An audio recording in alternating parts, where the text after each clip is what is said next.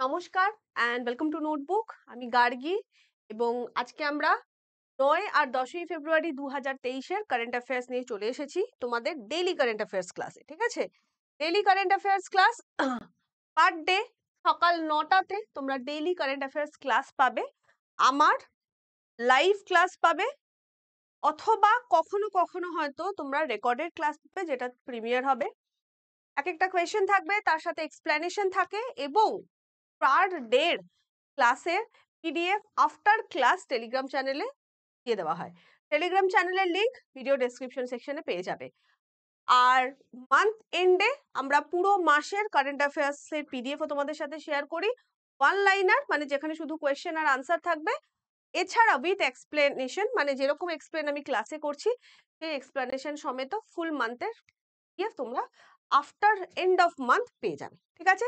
তো সকলকে আবারও সুপ্রভাত সকাল নটায় চলে আসো সকলে ক্লাস করতে। তো লেট স্টার্ট দ্য ক্লাস ক্লাসটা শুরু করা যাক। আজকে প্রথম প্রশ্ন আজকে আমরা যেহেতু দুদিনের কারেন্ট অ্যাফেয়ার্স নিয়ে ডিসকাস করব একটু বেশি প্রশ্ন আছে। তো আজকের প্রথম প্রশ্ন হলো the pilot launch of the code based coin vending machine has been uh, announced by whom? তাহলে QR code based coin vending মেশিনের পাইলট লঞ্চ হবে। মানে এখনও কিন্তু হয়নি। এরকম কিছু লঞ্চ হতে চলেছে। এটা রিসেন্টলি কার পক্ষ থেকে অ্যানাউন্স করা হয়েছে? তো এটা যদি আমি উত্তর নাও বলতাম বা অপশন নাও থাকতো এখানে, তাহলেও আশা করছি তোমরা বলতে পারতে। কারণ কয়েন ভেন্ডিং করা, এইটা কিন্তু যার পারভিউতে পড়ে, এটা হচ্ছে আরবিআই বা reserve bank of India reserve bank of India recently এই বুধবারে ঘোষণা করেছে এরা পাইলট প্রজেক্ট একটা লঞ্চ করতে চলেছে QR code based coin vending machine QCVM QR code based coin vending machine, যেটা কিনা কিছু ব্যাংকের সাথে কোলাবোরেশনে এটাকে লঞ্চ করা হচ্ছে, কিছু কিছু ব্যাংকের সাথে কোলাবোরেশন এখন সমস্ত ব্যাংকের ক্ষেত্রে এই ফেসিলিটিটা পাওয়া যাবে না। এইটা কিউসিভিএম বা QR code based coin vending machine, এটা একটা cashless coin dispensing machine dispensation machine যেটা কিনা কয়েনকে ডিসপেন্স করবে against a debit to the customers bank customer bank থেকে কয়েন ডেবিট ডিসপেন্স করবে ইউপিআই ইন্টারফেস ইউজ করে, ঠিক আছে? ইউপিআই ইন্টারফেস ইউজ করে এবং বুঝতেই পারছ এটার ফলে অনেক সহজ হয়ে যাবে বিষয়গুলো হ্যাঁ? তাহলে এটা এখনও জাস্ট আরবিআই রিসেন্টলি এটা ঘোষণা করেছে যে এরকম কিছু তারা পাইলট প্রজেক্ট হিসেবে পাইলট প্রজেক্ট মানে মানে এক্সপেরিমেন্টাল ওয়েতে লঞ্চ করা হবে। কিছু ব্যাংকের সাথে কোলাবোরেশন করা হয়েছে। যদি প্রজেক্টটা সাকসেসফুল হয়, তাহলে আমরা ভবিষ্যতে সমস্ত ব্যাংকের ক্ষেত্রে এরকম কিউসিভিএম বা কয়েন ভেন্ডিং মেশিন আমরা কিন্তু code QR code based coin vending machine কিন্তু দেখতে পাবো। ঠিক আছে? চলো, এবার একটু আরবিআই নিয়ে আলোচনা করি। বহুবার আলোচনা করেছি আরবিআই নিয়ে, তাও একটু আলোচনা করছি, কারণ এই আরবিআই এখানে যে যে ইনফরমেশনগুলো আমি তোমাদের দিচ্ছি, সেগুলো কিন্তু স্ট্যাটিক জিগের ক্ষেত্রেও খুব কাজে লাগে তোমাদের। তো RBI reserve bank of India কবে গঠন হয়েছিল সকলেই জানি আমরা। First April nineteen thirty five via RBI act nineteen thirty four উনিশশো চৌত্রিশ সালের আরবিআই অ্যাক্টের মাধ্যমে উনিশশো সালের পয়লা এপ্রিল আরবিআই এর গঠন। কোন কমিশনের মাধ্যমে গঠন? এটাও জিজ্ঞেস করা হয়। হিলটন ইয়াং কমিশন যারা আমার ক্লাস করেছ আগেও, তারা জানবে, বহুবার পড়িয়েছি এবং এটা প্রশ্ন আসে।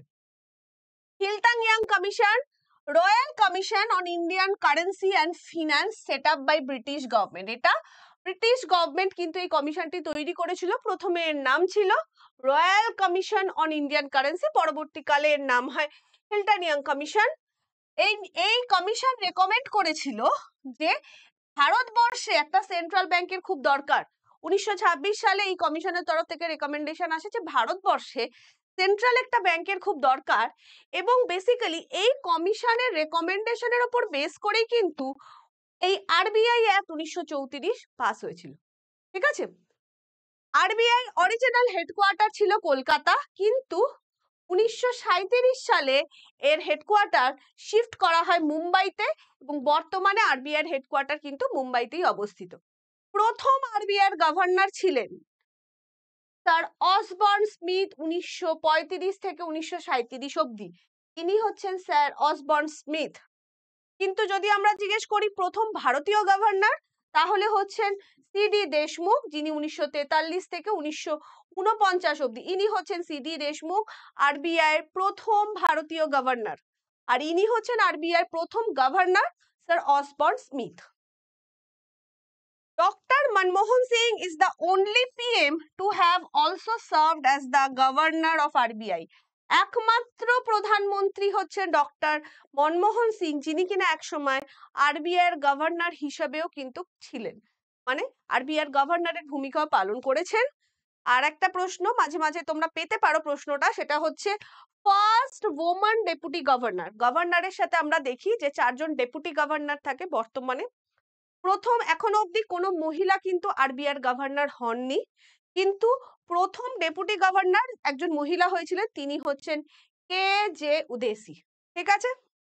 চলো, পরবর্তী প্রশ্ন। Where will be digital payment উৎসব recently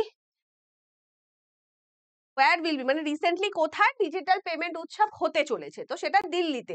Electronics and information technology and communication minister Ashwini Vaishnaw recently launch করেছেন ডিজিটাল পেমেন্ট উৎসব নিউ দিল্লিতে বুঝতেই পারছ ডিজিটাল পেমেন্ট উৎসব মানে আমাদের ভারতবর্ষে ডিজিটাল পেমেন্ট যে প্রসেস এখন। আমরা, বলো তো এখন আমরা দশ টাকা চা খেলেও জিজ্ঞেস করি, দাদা, আপনার কাছে ইউপিআই আছে? দাদা, আপনার কাছে গুগল পে আছে ফোন পে আছে বা কিউআর কোড আছে?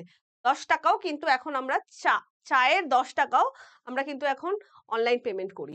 তাহলে বুঝতেই পারছ বর্তমানে দাঁড়িয়ে ডিজিটাল পেমেন্টের গুরুত্ব কতখানি? তো এই ডিজিটাল পেমেন্টের আরও যাতে প্রমোশন হয় সারা ভারতবর্ষে এবং বিশেষ করে জি টোয়েন্টির যে ডিজিটাল ইকোনমি ওয়ার্কিং গ্রুপ আছে এবং সেই ইকোনমির ওয়ার্কিং গ্রুপগুলো যে যে ইভেন্ট হতে চলেছে যে যে শহরে লখনৌ হায়দ্রাবাদ, পুনে, বেঙ্গালুরু, এইগুলোর আরও যাতে ভালো করে এটা মানুষের মধ্যে ছড়া এবার দেখো আমি কলকাতায় দাঁড়িয়ে দশ টাকার চায়ের জন্য কিউআর কোডে পেমেন্ট করছি বা কোনো একদম সিটিতে দাঁড়িয়ে তোমরা করছ। কিন্তু গ্রামে গিয়ে বা রুরাল এরিয়াতে গিয়ে এখনও কিন্তু সেটা হয়নি। তো যাতে আমরা একদম রিমোট এরিয়াতেও ডিজিটাল পেমেন্ট চালু করা যায় এবং মানুষের মধ্যে সেই সচেতনতা তার জন্যই কিন্তু কারণ দেখবে ডিজিটাল পেমেন্ট খুব ট্রান্সপারেন্ট সবকিছুর কিন্তু একটা রেকর্ড থাকছে। তোমার ব্যাংক অ্যাকাউন্টের সাথে তোমার প্যান কার্ড যুক্ত, আধার কার্ড যুক্ত, তুমি একটা সিঙ্গেল প্যান কার্ড আধার কার্ডের মাধ্যমে কিন্তু কার কত ট্রানজাকশন হয়েছে কোন অ্যাকাউন্টে সেটা কিন্তু খুব ইজিলি জানা যায়, ঠিক আছে? তো ডিজিটাল পেমেন্ট কিন্তু বেসিক্যালি হচ্ছে যে আমরা দেখি যে ট্রান্সপারেন্সি মেনটেন করার জন্য খুব দরকার।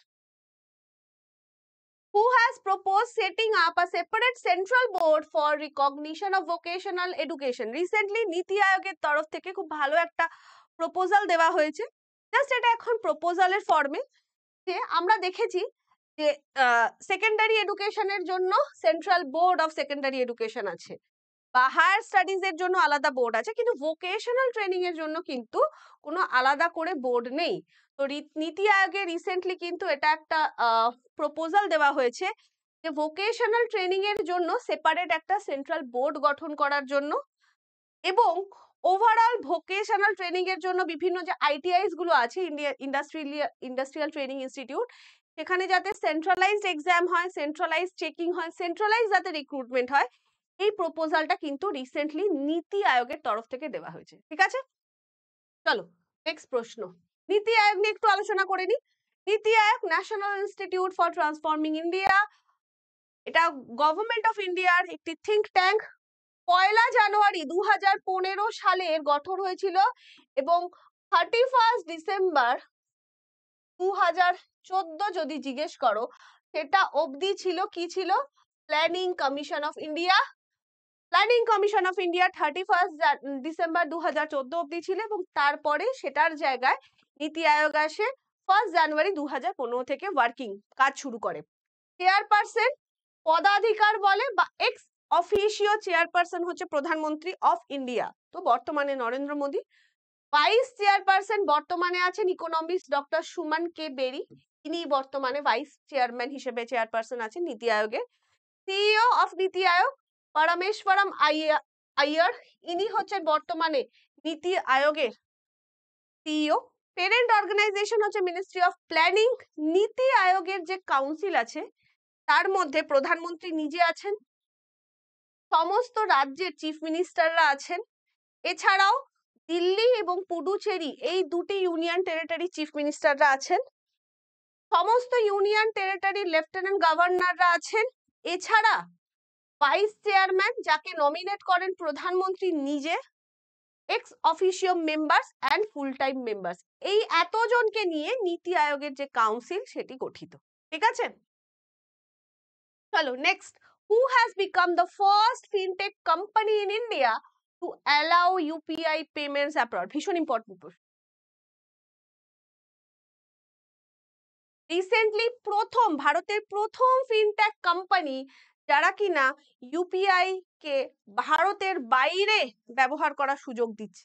মানে আমাদের যেটা হয়, তোমরা যখন মানে যারা অ্যাব্রডে বেড়াতে যাও মানে যারা যাও মানে আমি কোনোদিন যাইনি, যারা যাও তারা কি হয়? আমাদের সেই কারেন্সি সোয়াপের একটা ব্যাপার থাকে, ওখানে গিয়ে কনভার্সনের ব্যাপার থাকে, এই সমস্ত থাকে, তাতে কিন্তু টাকাও খরচা হয়। তো রিসেন্টলি ফোর ফোন পে হলো ভারতবর্ষের প্রথম ফিনটেক কোম্পানি যে কিনা অ্যালাউ করল যে ফোন পে কিন্তু তোমরা ভারতের বাইরে গিয়েতেও ইউজ করতে পারবে। আপাতত কিছু কান্ট্রিতে চালু করা হচ্ছে যে ফোন পের যারা ইউজার আছে, তারা কিন্তু ভারতের বাইরে গিয়েও ফোন পে অ্যাপটা ইউজ করতে পারবে। কোন কোন জায়গায় ইউজ করতে পারবে দেখো? এখন খুব বেশি কান্ট্রিতে ইউজ করতে পারবে না। তাও সিঙ্গাপুরে ইউজ করতে পারবে, মরিশিয়াস, নেপাল, ভুটান আর ইউএই এই পাঁচটা কান্ট্রিতে কিন্তু ফোন পে ইউজ করা যাবে। ডেফিনেটলি যেখানে ফোন পে যেমন হয়, যেমন আমরা ইউজ করি, যে তার কাছে PhonePe local QR code একটা থাকতে হবে, যেখানে তোমরা কেনাকাটা করছ এবং সেই কিউআর কোডে ফোন পের মাধ্যমে কিউআর কোডকে স্ক্যান করে এই পাঁচটা কান্ট্রিতে কিন্তু পেমেন্ট করা যাবে।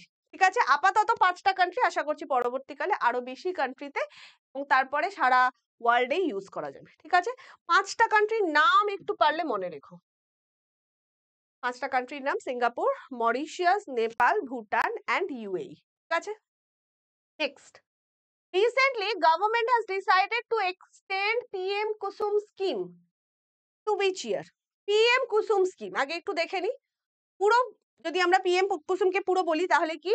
প্রধানমন্ত্রী কিষান ঊর্জা সুরক্ষা এবং উত্থান মহাঅভিযান প্রধানমন্ত্রী কিষান ঊর্জা সুরক্ষা এবং উত্থান মহাঅভিযান এটা হচ্ছে পিএম কুসুম। যেটা সেন্ট্রাল গভর্নমেন্ট লঞ্চ করেছিল দু হাজার উনিশে এবং এর উদ্দেশ্য কি ছিল? বেসিক্যালি সোলার ক্যাপাসিটি বাড়ানো। ঠিক আছে? Aimed at adding solar capacity of 30,800 megawatt by 2022 ঠিক আছে? তাহলে সেন্ট্রাল ফিনান্সিয়াল সাপোর্ট চৌত্রিশ হাজার চারশো বাইশ কোটি টাকার ফিনান্সিয়াল সাপোর্টে দু হাজার বাইশের মধ্যে সারা ভারতবর্ষে আরও তিরিশ হাজার আটশো মেগাওয়াট সোলার ক্যাপাসিটি অ্যাড করাই ছিল এই পিএম কুসুম যোজনার প্রধান উদ্দেশ্য। কিন্তু জানো এটা দু হাজার উনিশে লঞ্চ হয় তারপর দু হাজার কুড়ি একুশ এবং কিছুটা হলেও বাইশ, আমরা পুরোটাই কোভিড এর একটা প্রচণ্ড প্রকোপ দেখেছি এবং কোথাও না কোথাও এই যে দু হাজার বাইশের যে টার্গেটটা, সেটা কিন্তু অ্যাচিভ হয়নি। আলটিমেটলি সেই কারণে দু হাজার ছাব্বিশ অব্দি এই টার্গেটটাকে কিন্তু এক্সটেন্ড করা হলো। মানে এখন এই যে টার্গেটটা, সেটা দু হাজার ছাব্বিশের মধ্যে অ্যাচিভ করার কথা বলা হয়েছে। ঠিক আছে? Next Recently, PM Modi launched 20% ethanol blended petrol in how many states or union territory? ঠিক আছে? আচ্ছা এখানে আমি একটা জিনিস ভুলে গেছি এগারোটা স্টেট আর ইউনিয়ন টেরিটরির নাম দিতে ভুলে গেছি কালকে আমি এটা বলে দেবো ক্লাসে ঠিক আছে? একদম ভুলে গেছি। রিসেন্টলি প্রধানমন্ত্রী নরেন্দ্র মোদী তোমরা জানো যে ইন্ডিয়া এনার্জি উইক প্রোগ্রাম চলছিল কিছু বেঙ্গালুরুতে এবং সেখানে এই টোয়েন্টি পার্সেন্ট ইথানল ব্লেন্ড নিয়ে কিন্তু কথা হয়েছে। তো রিসেন্টলি আমরা যদি দেখি এখন at present ten percent ethanol blend পেট্রোলে use করা হয়। মানে যদি টোটাল একশো পেট্রোল থাকে, তার মধ্যে নাইনটি থাকে পেট্রোল আর দশ থাকছে ইথানল। তাই তো? ইথানল ব্লেন্ড করার সুবিধা কি? এক হচ্ছে যে পেট্রোলের খরচা কমবে। বেসিক্যালি পেট্রোল, ডিজেল যাই বলো, আমরা যে এই র তেলটা বা ক্রুড অয়েলটা সেটা তো বিদেশ থেকে আনি, তো প্রচুর পরিমাণে ফরেন কারেন্সি আমাদের লাগে। তো একদিকে টাকা বাড়বে, তোমার মনে হচ্ছে এখন দশ টাকা, দশ পার্সেন্ট ইউজ করে কি লাভ? সারা ভারতবর্ষের যা মানে নিড অয়েলের ফুয়েলের পেট্রোল বলো বা ডিজেল বলো, সেক্ষেত্রে টেন পার্সেন্টও অনেক। তো বর্তমানে ইথানল ব্লেন্ড করার প্রধান উদ্দেশ্য এক হচ্ছে ফরেন কারেন্সি বাঁচানো আর সেকেন্ড হচ্ছে এনভায়রনমেন্ট ফ্রেন্ডলি ঠিক আছে? তো আপাতত টেন পার্সেন্ট ইথানল ইউজ করা হয় হ্যাঁ? এবং গভর্নমেন্টের লক্ষ্য বাই টোয়েন্টি টোয়েন্টি ফাইভ দু হাজার পঁচিশের মধ্যে এই টেনটাকে বাড়িয়ে ডাবল করে দেওয়া। মানে তখন একশোর মধ্যে এইটটি হবে, একশোর মধ্যে এইটটি হবে পেট্রোল আর টোয়েন্টি হবে ইথানল এইটা হচ্ছে গভর্নমেন্টের লক্ষ্য আছে। তো রিসেন্টলি এই টোয়েন্টি পার্সেন্ট ইথানলটা রোল আউট করা হলো এই সোমবারে লাস্ট সোমবারে ফিফথ সিক্স ফেব্রুয়ারি দু হাজার তেইশে এবং এগারোটা রাজ্যের এবং ইউনিয়ন টেরিটরি সিলেক্টেড কিছু পেট্রোল পাম্পে কিন্তু এই টোয়েন্টি পার্সেন্ট ইথানলটা কিন্তু পাওয়া যাবে। ঠিক আছে? বুঝতেই পারছ? কারণটা কি? এক হচ্ছে ডিপেন্ডেন্স ফরেন এক্সচেঞ্জ বাঁচানো ডিপেন্ডেন্স ফসিল ফুয়েলের উপর ডিপেন্ডেন্স কমানো এবং এনভায়রনমেন্ট ফ্রেন্ডলি তো এই কটা কারণের জন্য কিন্তু এইটা করা হচ্ছে। টার্গেটটা মনে রেখো target is twenty twenty five কিসের? টোয়েন্টি পার্সেন্ট ইথানলের। ঠিক আছে? চলো next question which planet has the greatest number of moon important প্রশ্ন। এতদিন আমরা কি জানতাম? শনি বা স্যাটার্নের হ্যাঁ যদি আমরা দেখি আমাদের সোলার সিস্টেম, তাহলে তার মধ্যে স্যাটার্নের সব থেকে বেশি মুন আছে। মুন মানে যাকে আমরা স্যাটেলাইট বলি বা চাঁদ বলি সেটাকে। কটা? আজ অবধি যদি দেখি যে টোটাল স্যাটার্নের তিরাশিটা কনফার্মড মুন ছিল। কিন্তু স্যাটার্ন এখন সেকেন্ড পজিশনে চলে গেছে এবং স্যাটার্নকে টপকে। ফার্স্ট পজিশনে এসে জুপিটার বা বৃহস্পতি রিসেন্টলি সায়েন্টিস্টরা বৃহস্পতির নতুন বারোটা চাঁদ বা মুনকে ডিসকভার করেছে। ফলে জুপিটারের বর্তমানে দাঁড়িয়ে টোটাল চাঁদ বা মুনের সংখ্যা হলো বিরানব্বই। ইম্পর্টেন্ট প্রশ্ন ভীষণ, মনে রেখো এটা, ঠিক আছে? তো currently Jupiter has ninety two moons এবং that is maximum among others বা ম্যাক্সিমাম ইন সোলার সিস্টেম ঠিক আছে? Next has the ICC T twenty women's world cup started recently এখনও চলছে। আজকেই বোধ হয় ভারত পাকিস্তানের খেলা আছে। তো সাউথ আফ্রিকাতে টি টোয়েন্টি ওয়ার্ল্ড কাপ মহিলাদের এই এডিশনটা রিসেন্টলি সাউথ আফ্রিকাতে শুরু হয়েছে। ঠিক আছে? Eight edition of T twenty world cup recently South আফ্রিকাতে last ফ্রাইডেতে মানে গত পরশু শুরু। ICC T twenty women's world cup একটু আলোচনা করে নিই। বাইনিয়াল ইন্টারন্যাশনাল চ্যাম্পিয়নশিপ মানে প্রতি দু বছর অন্তর অন্তর হয়। আইসিসি কন্ডাক্ট করে। ফার্স্ট এডিশন হয়েছিল দু হাজার নয়তে এবং সেই এডিশনে নিউজিল্যান্ডকে হারিয়ে ইংল্যান্ড চ্যাম্পিয়ন হয়েছিল। কারেন্ট চ্যাম্পিয়ন হচ্ছে অস্ট্রেলিয়া। মানে লাস্ট এডিশন দু হাজার কুড়ি সালে অস্ট্রেলিয়া ইন্ডিয়াকে হারিয়ে অস্ট্রেলিয়া জিতেছে। সব থেকে বেশি সাকসেসফুলও কিন্তু অস্ট্রেলিয়া পাঁচবার এই ট্রফি পেয়েছে। ভেনু যদি দেখি, তাহলে দু হাজার তেইশের ভেনু কোথায় হচ্ছে? সাউথ আফ্রিকা বলেই দিলাম দু হাজার তেইশের ভেনু হচ্ছে সাউথ আফ্রিকা দু হাজার চব্বিশের ভেনু হচ্ছে বাংলাদেশ দু হাজার ছাব্বিশের ভেনু হচ্ছে ইংল্যান্ড এইটা একটু খেয়াল রেখো, এই দুটো ভেনু ঠিক আছে? এটা দু হাজার তেইশ হচ্ছে তো দেখো এই একুশ বা কুড়ি একুশ বাইশ তেইশ এই চারটে বছর না কোভিড এর জন্য অনেকটা ঘেটে গেছে, ঠিক আছে? তো এই কারণে এই সময় বাইনিয়াল পঞ্চবার্ষিকী এইগুলো ঠিকঠাক মেনটেন হয়নি। চলো next who has been recently named as world's most brilliant girl student recently Natasha Perianayagam তেরো বছরের ইন্ডিয়ান আমেরিকান ভারতীয় বংশোদ্ভূত নাতাশা। তিনি কিনা নিউ জার্সির Saint Florence M Gaudineer middle স্কুলের একজন ছাত্রী। যে রিসেন্টলি যে ওয়ার্ল্ড যে ব্রাইটেস্ট স্টুডেন্ট আছে, সেই লিস্টে কিন্তু টপ করেছে।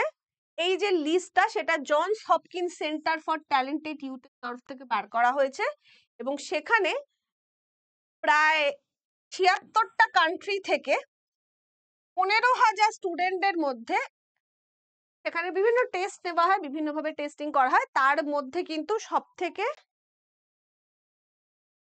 ব্রাইটেস্ট গার্ল চাইল্ড হিসেবে কিন্তু নিজেকে প্রমাণিত করেছে। যেহেতু ইন্ডিয়ান আমেরিকান ভারতীয় বংশোদ্ভূত কোয়েশ্চেনটা একটু খেয়াল রেখো। Who has recently has recently mission the mission Antodaya হাজার 2022? Rural Development and Panchayat Raj Minister Giriraj Singh recently mission Antyodaya survey দু হাজার বাইশ তেইশ শুরু হবে এবং এটা কিন্তু সেন্ট্রাল গভর্নমেন্টের তরফ থেকে অ্যানাউন্স করার পর স্টেটে চলে এসে স্টেট থেকে লাস্ট ফ্রাইডে মানে এই জাস্ট শুক্রবার আমাদের ব্লক লেভেলে ভিসি ছিল। আমাদের স্টেট গভর্নমেন্টের তরফ থেকে এবং সেখানে কিন্তু এই সার্ভেটা আমাদের করতে হবে। ব্লক লেভেলে ইপি লেভেলে এটাকে নামিয়ে দেওয়া হয়েছে, ঠিক আছে? অন্তর্দয়া মিশন অন্তর্দয়া সার্ভে দু হাজার বাইশ তেইশ রিসেন্টলি এটা central rural development and panchayat raj minister Giriraj Singh এটা কিন্তু ঘোষণা করেছেন।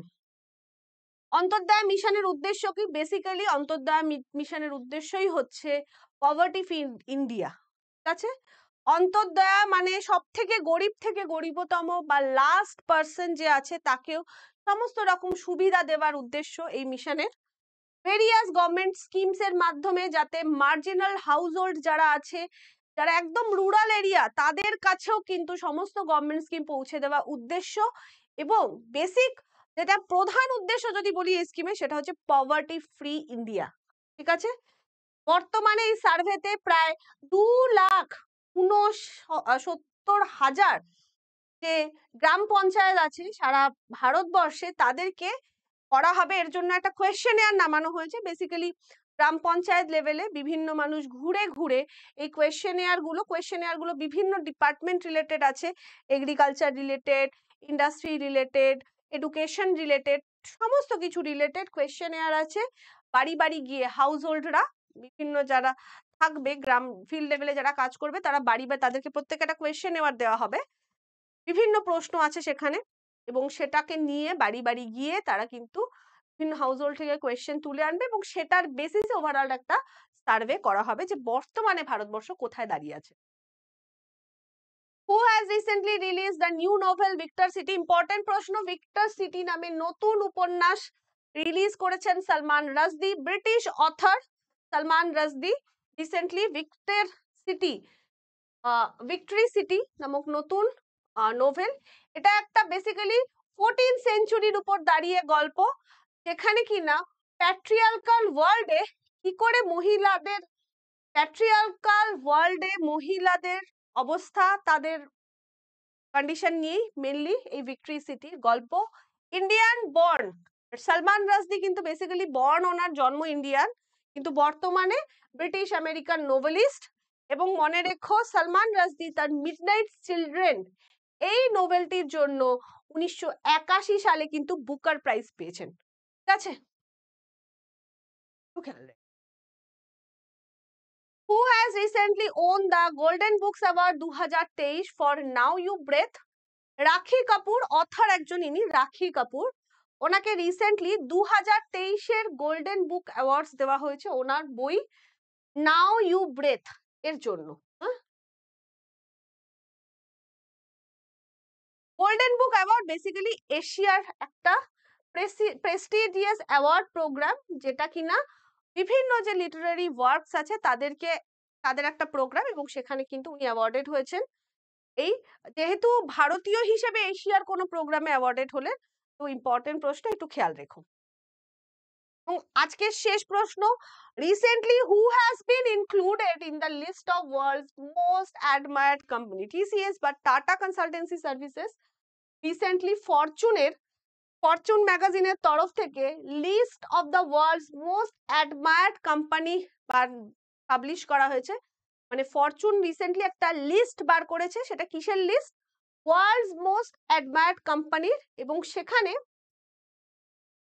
সার্ভে করা হয়েছিল। Survey of business executive directors analyst around the world সারা বিশ্বের উপর। কোম্পানিগুলোকে ইভ্যালুয়েট করা হয়েছে বিভিন্ন ক্রাইটেরিয়ার উপর, কি কি ইনোভেশন কেমন হয় সোশ্যাল রেসপন্সিবিলিটি কেমন ভাবে কোম্পানিগুলো পালন করে ম্যানেজমেন্টের কোয়ালিটি কি ধরনের কম্পিটিটিভনেস কেমন গ্লোবালি ট্যালেন্ট ম্যানেজমেন্ট কেমন এবং তাদের যে প্রোডাক্ট আছে বা তারা যে সার্ভিসগুলো দেয়, তাদের কোয়ালিটি কেমন? এই সমস্ত কিছুর উপর বেস করে সার্ভে করা হয় এবং এই সার্ভেতে যে লিস্ট বার করা হয়েছে, সেখানে ভারতবর্ষ থেকে কিন্তু টাটা কনসালটেন্সি সার্ভিসেস জায়গা করে নিয়েছে। ঠিক আছে? এবার তোমাদের জন্য প্রশ্ন।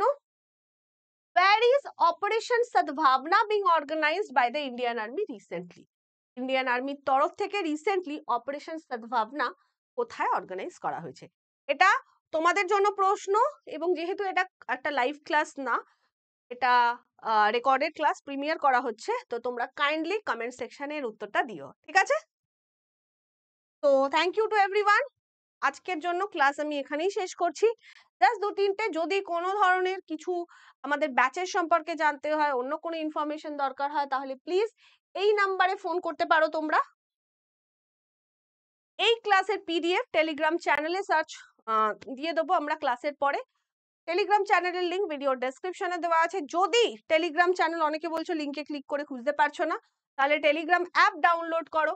টেলিগ্রাম অ্যাপ ডাউনলোড করে জাস্ট লিখবে নোটবুক ডাব্লিউবিসিএস এটা লিখলে প্রথম যে চ্যানেলটা পাবে সেটাই আমাদের অফিসিয়াল চ্যানেল এছাড়া যদি তোমরা টার্গেট ডাব্লিউবিসিএস দু হাজার চব্বিশ টার্গেট ব্যাচের সম্পর্কে জানতে চাও, সেই ব্যাচটা শুরু হবে ক্লাসেস সেকেন্ড এপ্রিল দু থেকে এবং মার্চ দু হাজার চব্বিশ অব্দি ভ্যালিড থাকবে এই ব্যাচে তোমরা যদি অ্যাডমিশন নিতে চাও, তার লিঙ্ক ভিডিও ডেসক্রিপশনে আছে।